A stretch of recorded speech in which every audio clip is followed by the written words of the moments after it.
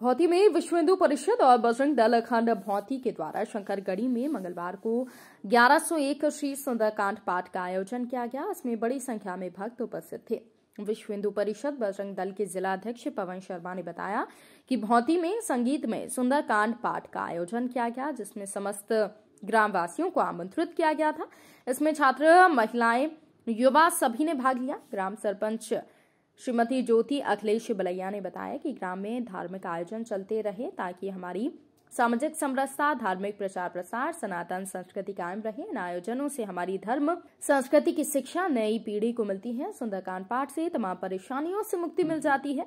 उन्होंने सभी ग्रामवासियों से आयोजन में समय पर शामिल होकर कार्यक्रम को सफल बनाने का अनुरोध किया, जिसमें सभी ने साथ दिया। सुंदरकांड पाठ के लिए ग्राम के सभी परिवारों को आमंत्रण किया था।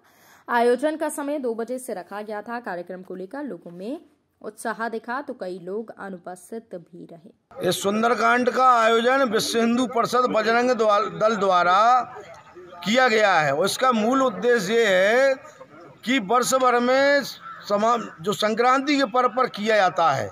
वैसे तो धार्मिक आयोजन विश्व हिंदू परिषद बजरंग दल करता है, लेकिन इसका जो मूल उद्देश्य है, समाज में सामाजिक समरसता के लिए किया किया जा रहा है। क्योंकि इसमें सुंदरकांड जब अपन का आयोजन करते हैं तो समाज के सभी वर्गों को जोड़ने का एक हमारा हमने माध्यम इस माध्यम से जोड़ा जाता है।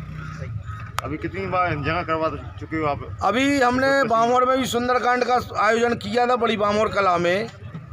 पिछोड़ में भी किया था और अब भोती में और प्रत्येक खंड में दस दस बारह गाँव का गाँव का एक खंड संगठन की दृष्टि से बनाया गया है। जैसे भौती भी है, मनपरा भी है, छोटी बामोर कला है तो बारह गाँव में जोड़कर एक खंड बना है।